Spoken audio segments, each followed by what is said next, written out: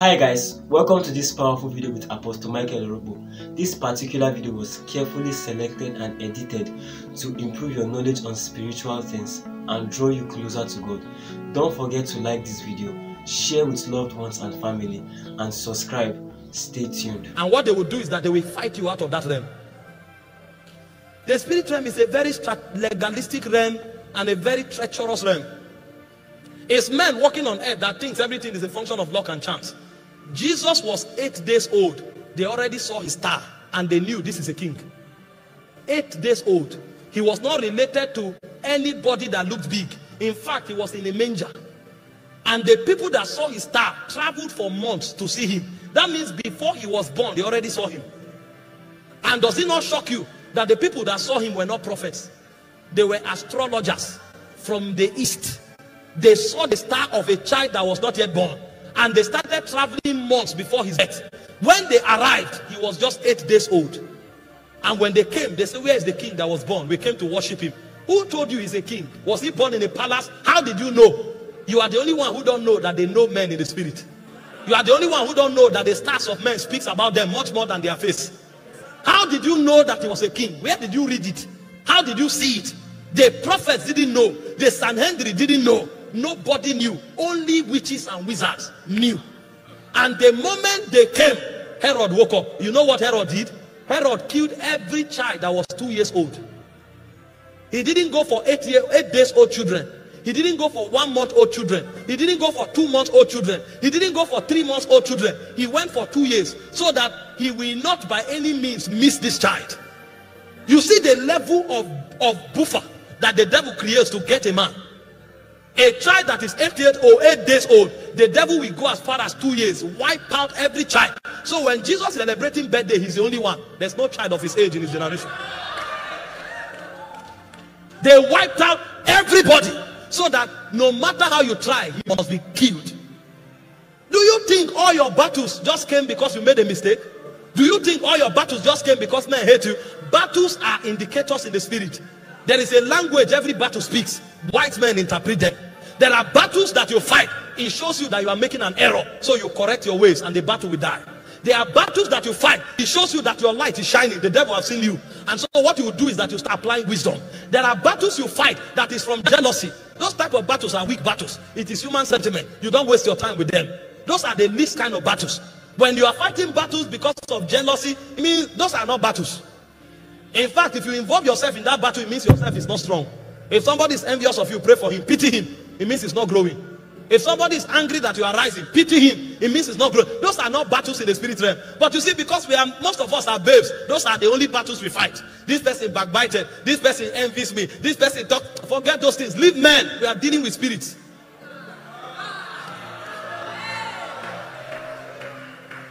You woke up, all of a sudden, your car broke down. They are attacking you on your job, your family, somebody is sick. Don't rush. Something is happening in the spirit. Those battles are an alarm system. Go back to your altar. Find out which signal is this. I need to read what is going on. What is happening here? Did you see the life of Joseph? All of a sudden, his father that loved him, that gave him a coat of many colors, became offended at him because he had a dream. The same period, his brothers threw him into a pit. The same period, they sold him. It's a season waking up. A prince is about to rise. Your battles speak louder than the people who you are hearing. Every battle is a language. Discern it. When you discern it, your life will become a wonder to your generation. Because seasons comes with battle. This is why discernment is a must. There are some battles that come to distract you so that you can't pick signals. There are some battles that come to make you say things that will disqualify you. Did you read about Elijah? When Elijah was supposed to enter the zenith of his ministry, he said, I'm not better than my fathers. God said, Really? Go now. The anointing that is on your life is enough for three people. Elijah alone carried the anointing of a prophet, he carried the anointing of two kings. But Elijah was troubled and he made a statement that he should not have made. Until he made that statement, God was working with him. I'm not better than my fathers. Ah, go and anoint Elisha in your stead. A man is away. God said, Go and replace yourself. He didn't know that that battle came. There are some battles that came to only make you say the wrong thing. Lord, I don't believe you are real. Ah, you have buried yourself. Oh, Father, I don't care anymore. Ah, Lord, kill me. Ah, you are not wise. You are about to enter your season. That's why those battles came. And so when battles come, that's not the time to talk, that's the time to check. And so if you must talk, talk what was given to you from light. That's why I say your light has come. Because what you need to say comes, the syllables are in light. The steps you need to take, they are encoded in light. It's as you ascend on your altar that you will read the scrolls of heaven. And so when you come out, when they think you will say, I'm finished, you when men are cast down, we are lifted. And then they are wondering, that's not what you are supposed to say. Yes, that's not what I'm supposed to say as a man, but I saw something in light. When I entered into light, I knew that this is not a battle to kill me. This is a battle to awaken me to a new season. There are spirits in the invisible realm. There are spirits hovering about in the spirit realm. The Bible said when an evil spirit is cast out of a man, Matthew 12, 43 and 44, it goes about in dry places looking for where it will dwell. If it doesn't find any, it returns. That means there are desolated places in the spirit where spirits hover. That's why a lady asked me when I was teaching on Tuesday, he said, since she came to a new environment where she's living, predominated by the sons of the bondwoman, it became difficult for her to win souls. And I told her, if you check, it has even become difficult for you to pray. The reason is because there are spirits in that atmosphere. And so when you enter a territory, the energy level is different. Make no mistakes about it. When spirits dominate a sphere, they put their energy there. It's not everywhere that is possessed by spirits. Some realms are possessed by the energy of spirits. When Jesus came to Peter's mother-in-law, he didn't cast out the demon. The Bible said he rebuked fever. Because the fever is an energy of, it, of a spirit of sickness and infirmity. So the spirit himself may not be there, but his energy is there. The same way the energy of a spirit can dominate a man, the energy of a spirit can dominate an atmosphere. Why do you think you come into a service moody? But after a while, when the worship is intensified, you start jumping and shouting. You didn't come into the service shouting the energy of the Spirit of God has dominated the service. And so upon come, you begin to interact with it. The reason you are excited is because you are receptive to that. You received it. The same way you can enter a place and the energy of immorality will dominate. If you don't know how to fight and shut out those energies, they will be planted into your soul. And the first victory you have here, you will lose it. I've known people who went for NYSC in 21 days, they were disflowered because they stepped out of one energy and entered another energy. I've known people who went into a business and in the first one month they became liars because they left one energy and entered another energy. There are spirits hovering in the spirit realm, and what they do is that they emit their energy into the context where men dwell so that a man who is receptive to their energy will attract their presence. If you receive their energy, you invite them into your life. That's how these spirits work. And so, in order to win the war over spirit cities, what you do is that you resist the energy constantly. When you come into a place and you discover people are immoral, you have to take a stand. If you don't know that this is warfare, you will be there saying, God will help us. You will not be helped. You will drown. It will begin with lust. After a while, it will begin with talking with one or two persons. The next time, you are crying on your bed because you just fornicated. You didn't know how to resist that city, that energy, because you didn't know that there was a spiritual city there. I've taught before from Ephesians chapter 6 from verse 10 how that Paul said, Be strong in the Lord and in the power of his might. He said, Put on the whole armor of God, wherewith you'll be able to stand the wiles of the enemy. And he said, We wrestle not against flesh and blood, but against principalities and powers. Principalities come to dominate context. And when they release their energy there, anybody who receives it become a slave. So the second city you must dominate is the spirit cities. Most times, the physical environment we live derive their reality from the spirit city. That's why you hear names like Egypt in the Bible. At first, you think it's a country, later, you discover it's a spirit city. Because what Egypt wants to do is to stop the worship of God. You hear Babylon the Great. At first, you thought it's a country. A point come, you now discover it's a city in the spirit. What Babylon intends to do is to bring mixture into your life so that God is the energy, the temperature, and the reality of God is compromised with the reality of other spirits. And a point comes, your pursuit becomes greatness, and you don't care whether you are right or wrong. The guy entered into ministry at first with passion for God and for souls. After 10 years in ministry, his goal becomes a cathedral and money. He doesn't know when he forgot about God, he forgot about soul. Babylon has attacked him. A point came, he began to mix fame with spiritual authority. A point comes, he begins to mix the anointing with psychology. A point comes, he begins to mix divine direction with human strategy. And a day will come, he can never, he no longer tells whether it is God leading him or his mind leading him. A point come when if God doesn't speak fast, he calls technocrats. And so Babylon has entered. Babylon brings mixture. And the reason he will do that is because his focus is no longer God. It's now about greatness. That's why it's called Babylon the Great. Compromise God and we give you greatness. Compromise God, we give you influence. Compromise God, we give you honor. But it's a subtle city. If you don't know how to fight it, you are gone. A day comes, you forget about evangelism. You start doing music concert. And even the music concert is not censored by the spirit. You know people love music. And so anything people, anything you do that gets people's attention is good. A point comes, it's no longer about prayer and fasting and evangelism. It becomes about comedians. And you say, when they come, we win them to Christ. You don't know when mixture sets in. And then the comedian comes and waters down the doctrine. The comedian comes and waters down sacred and hallowed things. The things that we dread, they play with them. And after a while, everybody takes those things for granted. Church has become fuller, but the fear of God has died. Church has become fuller, but the worship of God has died. Church has become fuller, but the power of prayer has died. When you were few, everybody was a prayer warrior. When you were few, when you prayed, the hall vibrated. But now you are one million, and when you are praying, even the flies in the hall doesn't notice. We were in a bi- biannual conference of one of the biggest church bodies in Nigeria.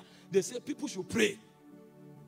Over 100,000 people were praying. You couldn't hear the prayer. If you were there, you would sleep off because the energy died.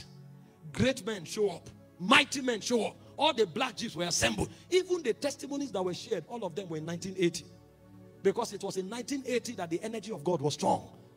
Now, God's voice has been mingled with human strategy. Now, the pursuit of intimacy have been replaced with the pursuit of influence and cathedral. There's nothing wrong in building cathedral, but if you allow God grow you organically, it is better. When you don't censor Babylon out of what you are doing and you allow that mix to happen, you will receive the same thing God gives, but the reality will be different. The Bible said it's the blessings of the Lord that make it rich and added no sorrow. That means even the devil blesses. The difference is that when the devil blesses, sorrow is added. So God builds cathedrals, devils also build cathedrals. God gives fame, devil also give fame. Did you not read about Jesus? When he returned with the power of the Spirit, the Bible said his fame went abroad. So God gives fame, but demons also give fame. And so when the principality comes, he looks for those who are prophets and he begins to, to show them fair ladies. Meanwhile, he would have sent the demons to corrupt the fair ladies. And the fair lady is opening her lap, opening her cleavages. She doesn't know she's a messenger. Because spirit cities are about to be built. And he knows that the prophet is vulnerable to the woman. Because the weakness of the prophet is his eyes. Just as his strength is his eyes. And that's why prophets must win the battle of immorality. prophets must win the battle of immorality in order to bring government. You will see why a prophet can call a name and a phone number, but he has no power in that territory. In fact, himself will be a thief himself will be a liar because he doesn't understand that it's a spirit city. It's a spirit city. And so they will send the demons, and the demons will enter the women and enter the men. Some of the men will spend hours in the gym when they build their chest, they now wear singlet. I'm showing you something. The ladies who are prophetess, they will be swindled by those men because of their looks. And the men who are prophets, they will be swindled by those women because of their lap and their breast. What they don't know is that a program is going on. A program. You you sent a message. You sent it. You you came somewhere to preach, and you connected with the sister. You gave her a word of knowledge, and you say, "See me later. I need to impart you." Is a lie. Every impartation you want to give her, give her dear now.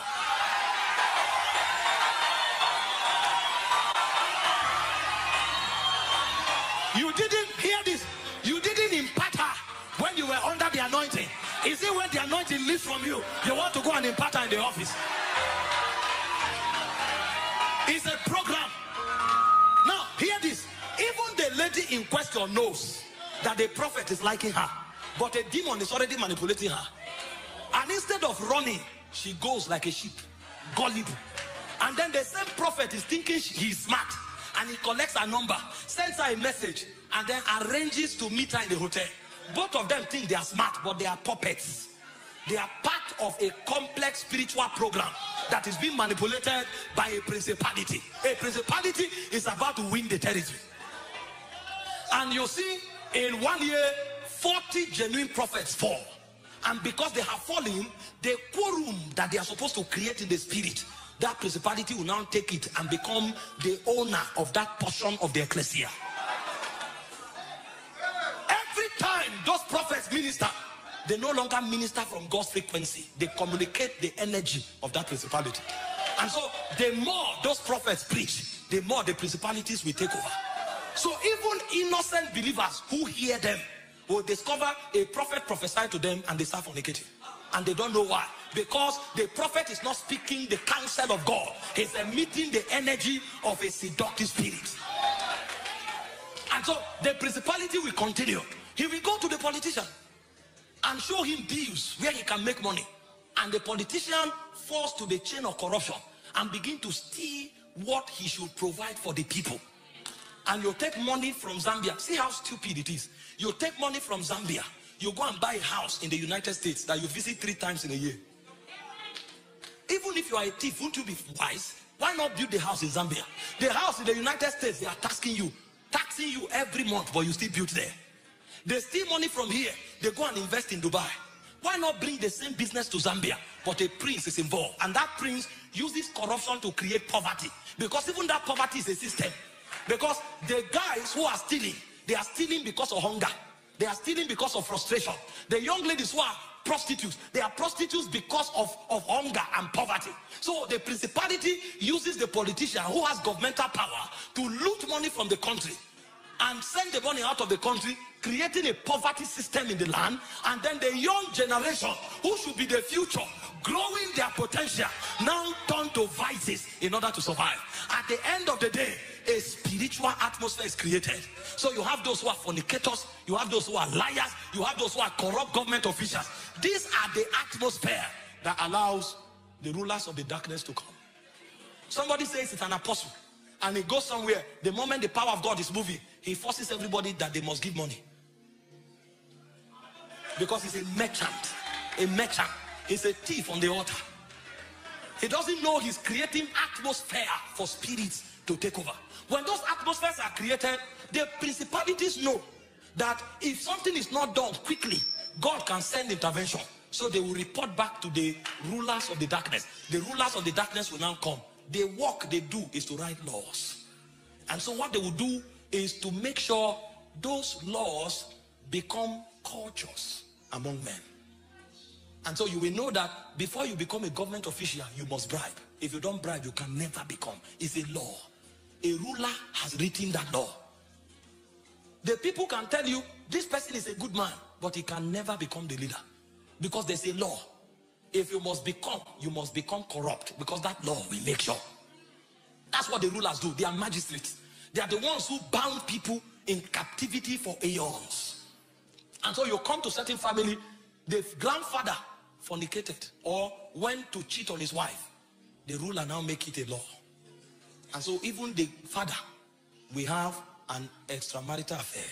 The son, we have an extramarital affair. And you see patterns begin to repeat from one generation to another. The principality created it, the ruler made it a law. Now, when you continue in that law for a long time, then spiritual wickedness come. That's where HIV appear from. Because those ones, they come to afflict people because you have come to the end of the ladder so that you will meet death and destruction. And so the power we are talking about here is not just the power to prophesy. Names and phone number. It's not just the power to lay hands on the sick and they recover. Those things are good, but we are talking about power that have the ability to reset a civilization. Thank you for watching this very video we brought your way. We believed you are mightily blessed. Contained in this message are steps and principles you could apply to your life and get the desired result that is required to take you into the next level of your spiritual journey and walk with God. Once again, thank you for watching this video. Don't forget to like and subscribe to this channel and most importantly, share this video with friends, family and loved ones. We would love to hear from you. Share your thoughts down below in the comment section and we'll see you in our next video.